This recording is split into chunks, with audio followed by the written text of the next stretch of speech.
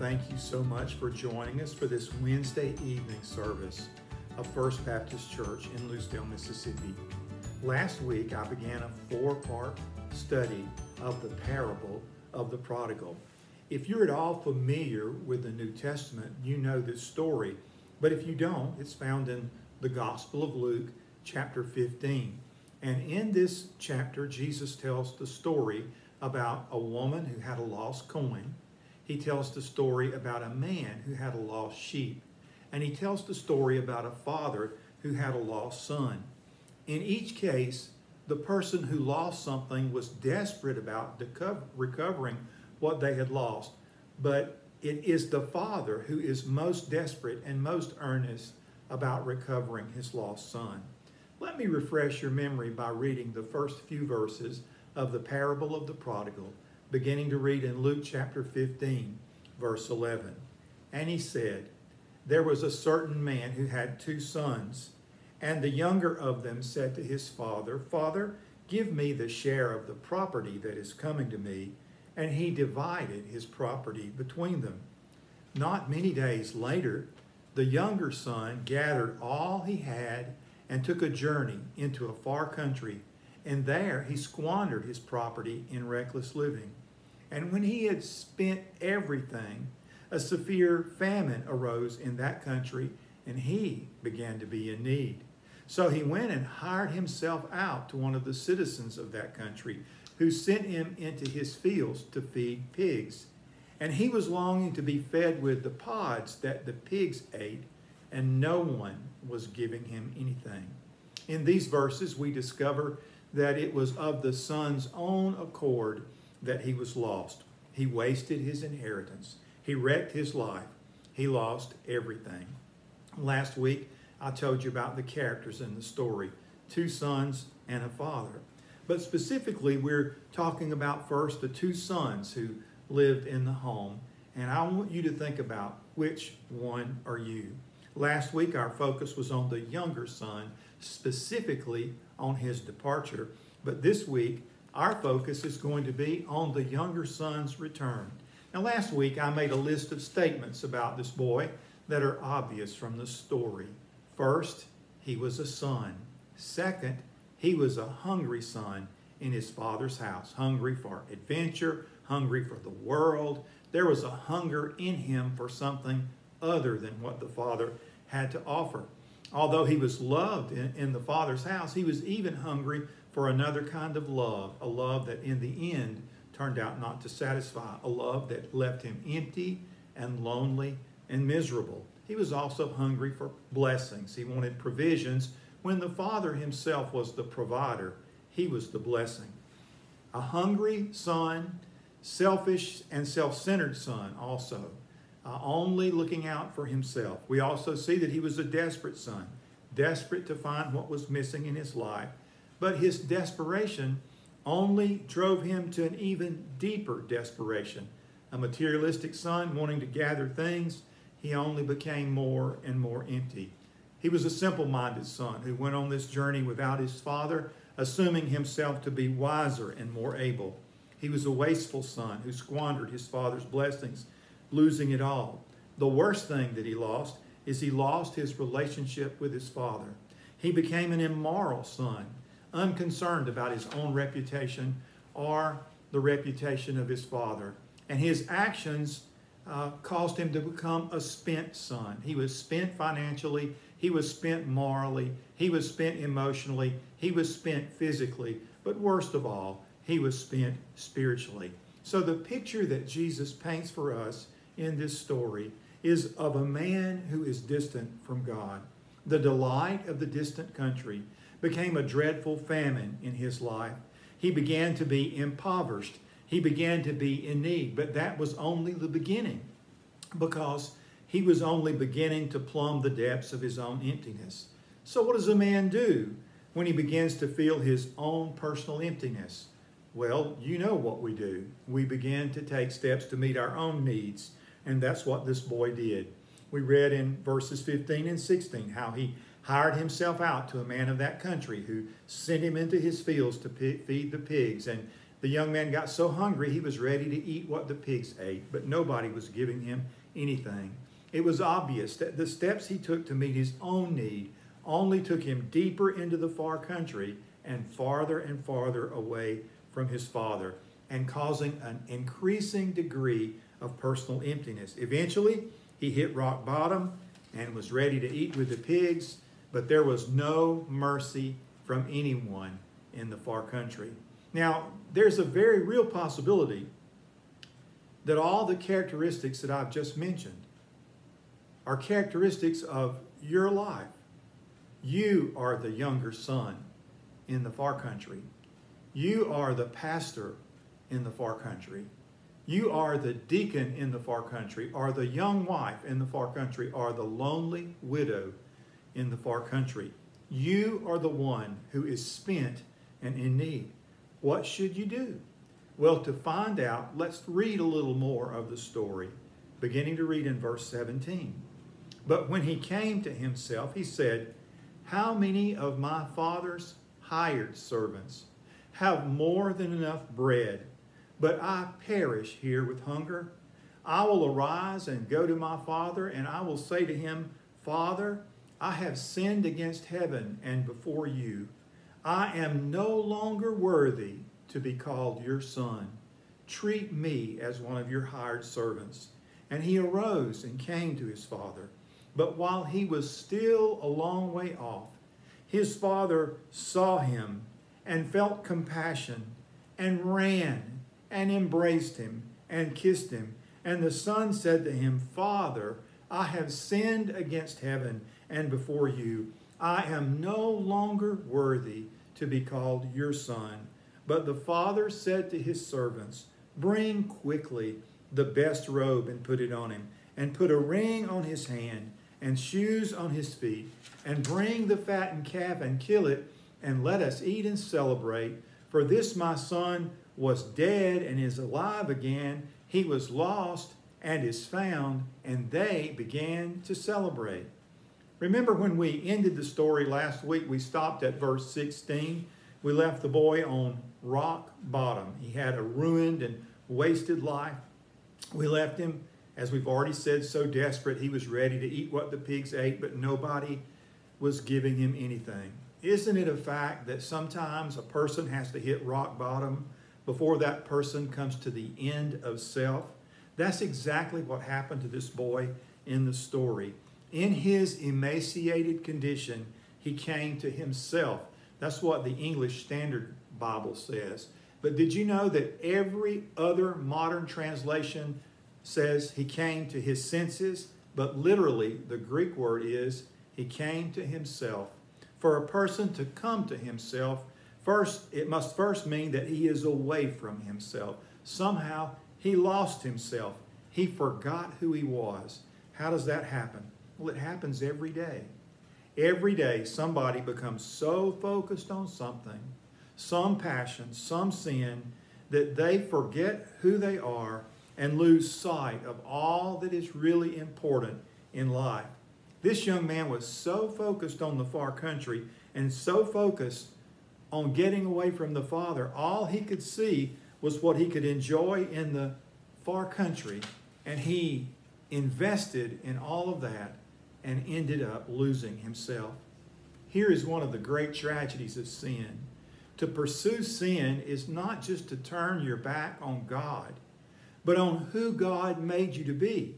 You abandon true personhood in search of identity and wind up losing your identity. Do you realize that the devil is the original identity thief?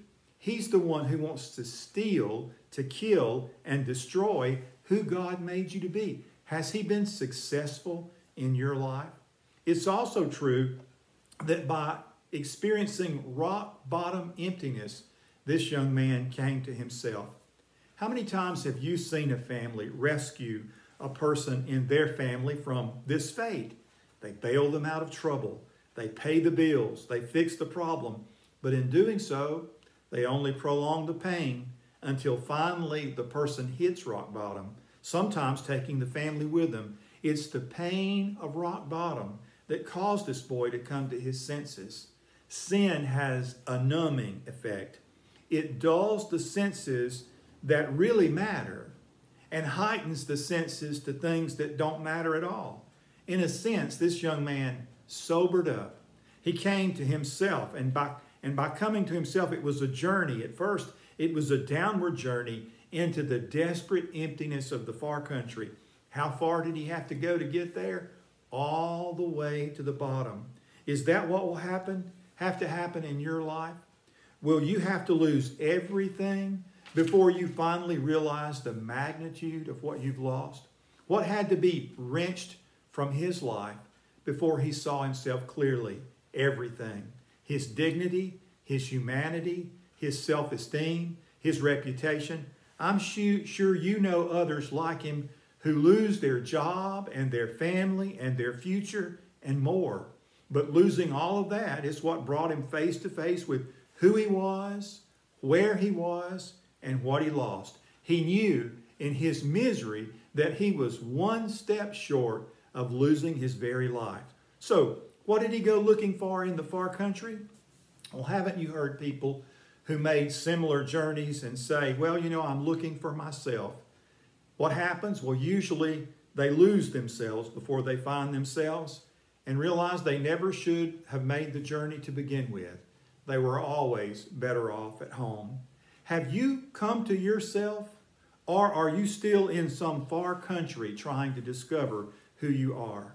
In the Father's house, he was hungry for the far country, and now he found himself hungry in the far country.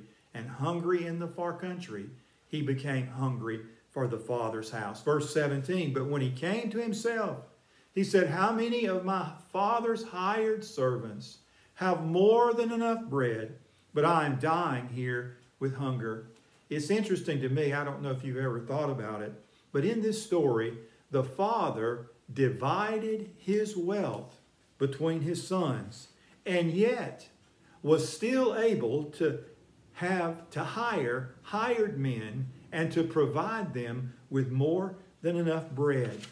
At that moment, the prodigal is still thinking about himself, still thinking about his own needs, but he did at least remember that in the Father's house was inexhaustible wealth. His statement in verse 17 is revealing. He said, I am dying here with hungry, hunger. He was so hungry, he was ready to eat with the pigs, but no one in the far country was offering him any food or compassion. He was dying with hunger in the far country. But wasn't it hunger that drove him to the far country in the beginning? He could acknowledge that. Did he, in his hunger, was he seeking a relationship with the Father? No, not at that point. Really, he was seeking only sustenance, something to eat, just something to help him survive. And he was expecting some degree of punishment when he went back to the Father and the possibility of life as a hard labor servant. But at least he would live. What was it he wanted at the Father's house? Well, he wanted bread. There was more than enough bread. But it wasn't bread that would hunger, satisfy the hunger of the prodigal. It was the Father. So he came to decision. He said in verse 18, I will arise and go to my Father, and I will say to him, Father, I have sinned against heaven and in your sight, and I am no longer worthy to be called your son. Make me as one of your hired servants. What do you see in that verse that he recognizes about himself? He recognizes that he was still a son. He said, I will arise and go to my father. There is something here that we need to consider. You need to stop and think for just a minute. Remember who's telling the story. The prodigal is not telling the story. The story is about the prodigal. From whose perspective is this story told? It's told from the perspective of the Father, from the perspective of heaven, if you would. The prodigal's dignity in this story is never based on how he viewed himself, but on how he was viewed by the Father. So is yours, and so is mine. Likely you have a story to tell about yourself that you tell to yourself about how God feels about you. And usually our perspective about ourselves is wrong. The perspective you need is God's. And God's perspective about this boy is here is a son who is lost, still a son, still loved, still missed, still welcome. Now, the prodigal is yet to realize that, but he does come to an important decision. He said, I will get up and go to my father. What was the risk in that? Did he risk rebuke? Did he risk rejection? I suppose he risked all of that. But he was now more desperate and more hungry in the far country than he'd ever been before. There was no mercy in that far country, but at least he felt there would be mercy in his father's house. So he said, I will get up and go to my father. In what condition did he make that journey? Well, he went bearing the filth of the far country. He went with no robe on his back. He went with no shoes on his feet. He went with no ring on his finger. He went wasted and guilty and empty and he said, I'm going to my father. He went as a sinner. He sinned against his father and he sinned against God. That's significant because now the son is more than just hungry. He is repentant. He says, I was wrong. I have sinned. And he realized that something about himself that he didn't realize before. Before he said, you know, before he left, you remember what he said? He said to his father, he said, you know, I'm your son and I have things that I deserve from you. So what I want you to do is I want you to give me the share, my share of the estate. I'm a son and I'm worthy of what you have. It ought to be mine. Now he comes back saying, I am no longer worthy to be called your son. Make me as one of your hired servants. He was asking for nothing but mercy. But ultimately, there was an inevitable journey that he had to make. So what did he do? the Bible says he arose and went to his father. He had to face the father. He had to go and stand before the one he sinned against and be ready for whatever the father would say, whether that would be rebuke or rejection, whatever it was. He knew that his only hope was to get up from where he was, from the condition he was in, and go to his father. Now we come to the point of the story as far as this boy is concerned. Because you see, at some point, all of us have been the prodigal. We've been in the far country. We've wasted blessings and years and things God has given us. Some of us have hit rock bottom. Some of you are on rock bottom right now. What is it that you need to do? You need to get up from where you are, out of the mess of whatever you've made of your life, with all of its filth still clinging to you, and you need to go straight to God and you need to say to him, I have sinned against heaven and in your sight. I am no longer worthy to be called your son. Do whatever you will to me, but give me mercy. What will happen to you? Well, look at what happens in the story. The Bible says here, but while he was still a long way off, his father saw him and felt compassion and ran and embraced him and kissed him. And the son said to him exactly what he was going to say Father, I've sinned. I'm not worthy anymore. Just make me a hired servant. But the father said to the servants, Bring quickly the best robe and put it on him. Put a ring on his hand and shoes on his feet, and bring the fattened calf and kill it, and let us eat and celebrate. For this my son was dead and is alive again. He was lost and is found, and they began to celebrate. I want to tell you that the only thing you can do is simply get up from where you are, from whatever puddle of sin you sit in, and go straight to God and say to Him exactly what the prodigal said to the Father. There you are at the Father's mercy, empty, filthy, dying, and unworthy. You must be willing to let God be God and do what only what He can do in your life. And what is it that God wants you to do? I'm going to tell you, He wants to make you a son if you've never been one.